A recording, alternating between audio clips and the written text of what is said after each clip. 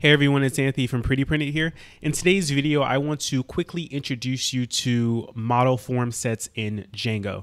So form sets in general are a way to kind of have repeated forms in Django. So an example would be let's say you want to have a form that takes in phone numbers and someone could potentially have multiple phone numbers. Instead of having one form you'd have a form set that can represent all the potential phone numbers they have instead of just the one.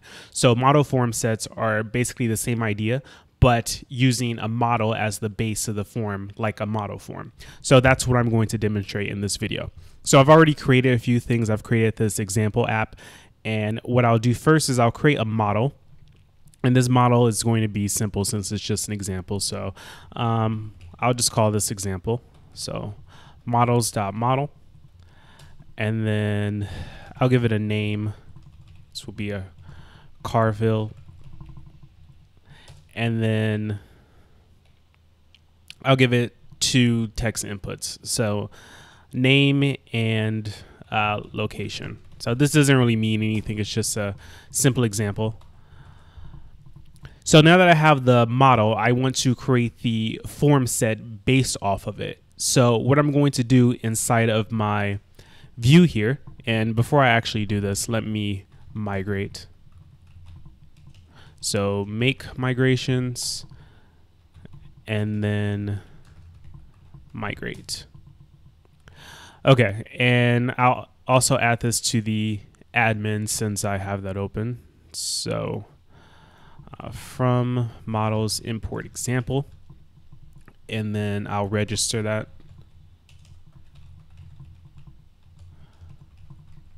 Okay, so if I run this again,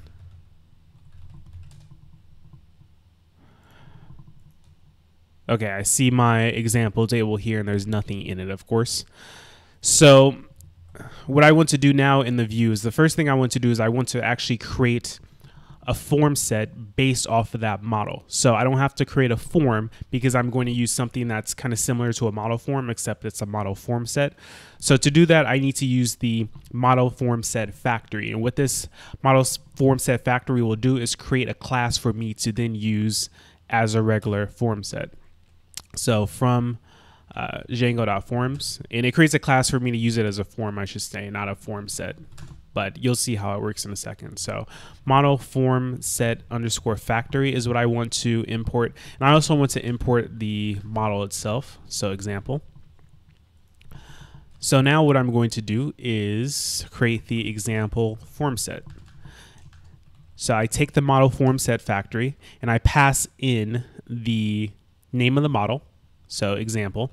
And I also pass in the fields that I'm interested in. So this kind of looks like a model form, except the way you create is a little bit different, but the idea is similar. So the fields that I want are name and location.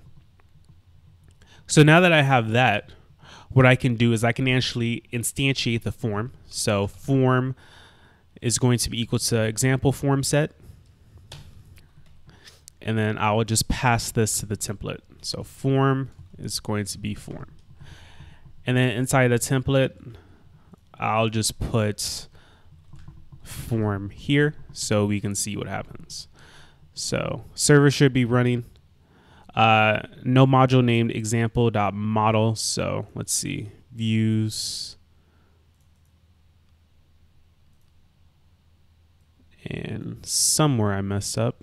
Let's see, what line is it?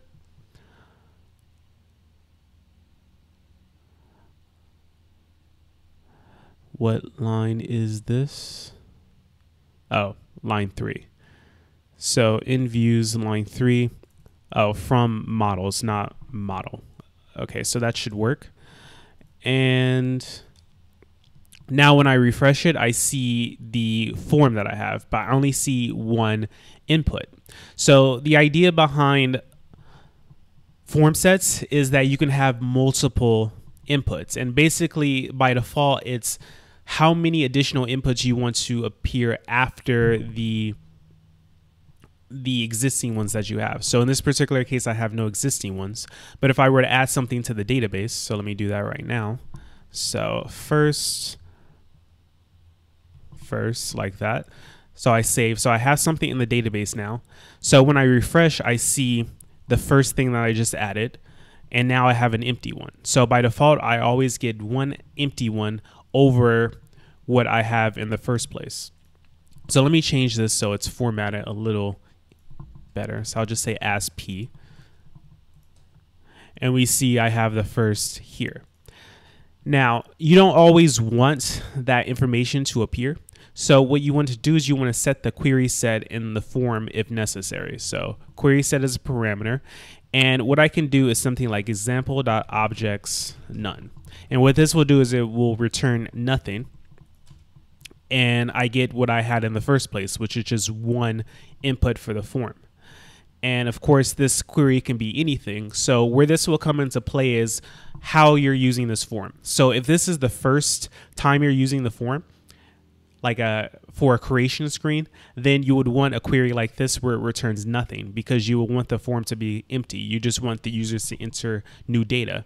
But in a case where you're on a screen like an edit screen, maybe you want all the information for that particular user. So this query would then be a query to get information for that one user who is logged in. By default, it just gets everything that the model has. So even if you have multiple users, by default, it gets the information for all the users, which isn't something that you would want. So you have to change this query to be something that is specific to that user. So, you know, check where the user ID is equal to that uh, current logged in user.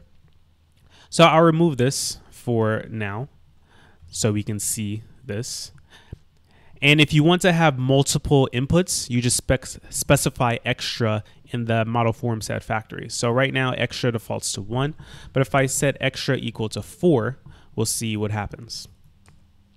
So now I still have the first entries. Then I have one, two, three, four sets of name and location. So now what I'll do is I'll fill in the rest of the form around this. So form method post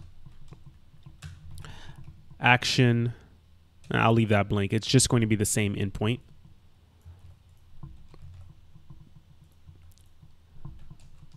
And then input type submit. So just a really basic form here. So when I look at this again, I can actually submit. So what I want to do now is I want to handle the post case. So I'll go back to the view and I'll say something like if request.method is post I'm going to instantiate the form set with request.post. And then what I can do is I can use this in a similar way that I use model forms. So I can say something like um, form.save, and this will save all of the of the values. And if I want to save them individually, I'll do commit false. And then I can return something like instances and then say for instance in instances instance.save. So these individual ones behave like single forms where this is saving all of the forms set at one time. If I took out the commit equals false because commit defaults to true. So either approach works. I'll comment that out and I'll just use the straightforward approach. So uh, instances equals form.save. And then, of course, I can do whatever I want past this point.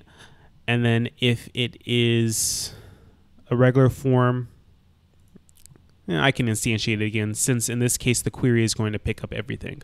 So let's go ahead and try this. Just saved it.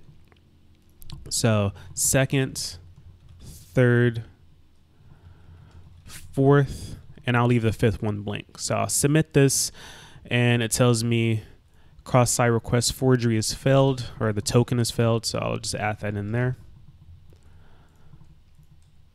Okay so second third fourth and then submit.